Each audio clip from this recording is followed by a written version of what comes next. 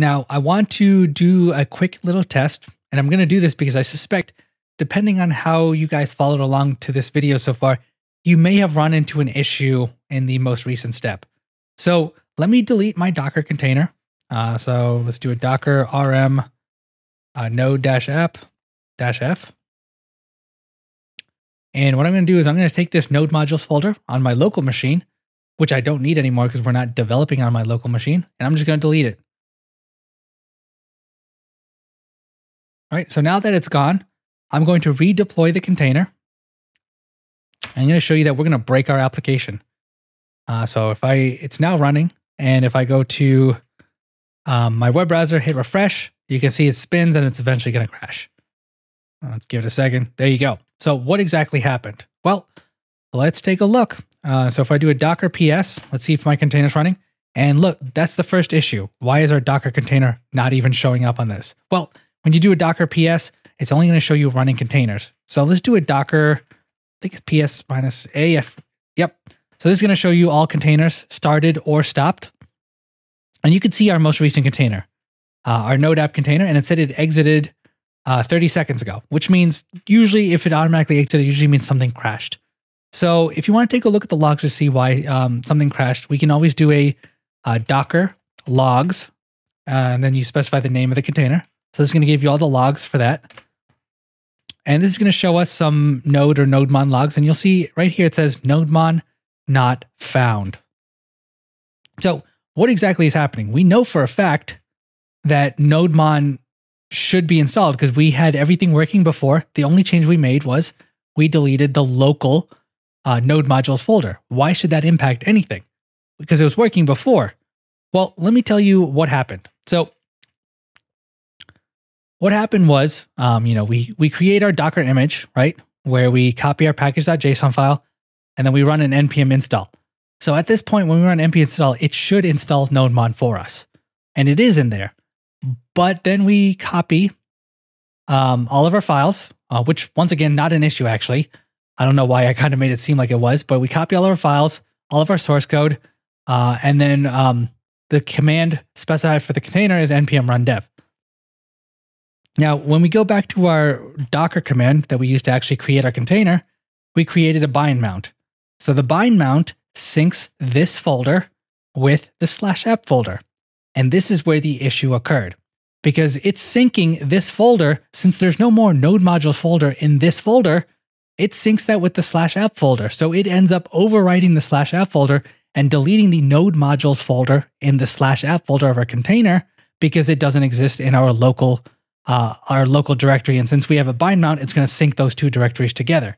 That's the problem, right? Because once we deleted the node modules folder from our local machine, it will also delete it from our Docker container.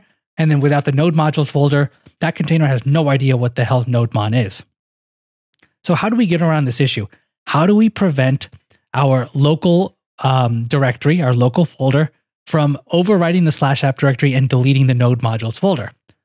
Well, there's a simple little hack that we can do, and that is we're going to create a new volume. And we're going to create a volume that's called, um, there's a couple different volumes, like I said in, in Docker. A bind mounts one, we also have an anonymous volume.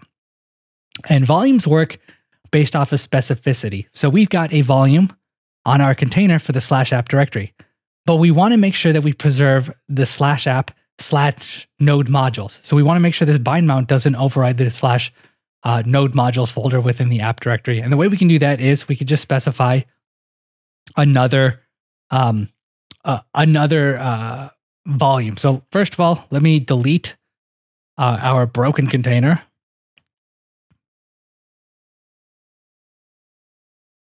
All right, and then we'll run that same command, but I'm going to pass in another v flag for another volume. And I'm going to say this volume, uh, which is going to be an anonymous volume, is going to be the, for the slash app slash node underscore modules. This is a little hack that you can do to prevent the bind mount from overriding the slash app slash node modules folder because all volumes in Docker containers are um, uh, are based off of specificity. So even though this bind mount should sync with the slash app directory, we can see that we have another volume that uh, that references the slash app slash node modules folder. And you can see that since this is a longer path, that's basically more specific. So that's going to prevent this bind mount from deleting the node modules folder.